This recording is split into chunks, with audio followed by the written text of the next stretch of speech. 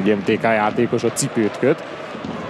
Dimitrov így is elviszi még a labdát, és aztán Prosser találja meg gólhelyzet. Prosser 2-0 eldölt a meccs, 79. perc. Nézte, hogy mikor a legjobb ütemben lép ki.